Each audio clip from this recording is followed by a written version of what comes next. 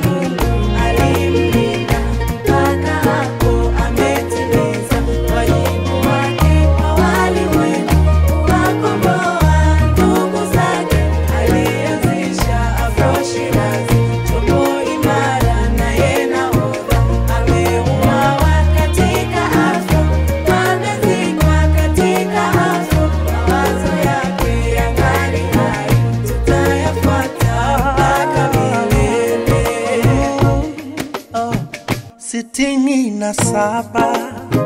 Miaka yake baba alifanya mengi kwa tanzania. Uchumi, siasa, elimu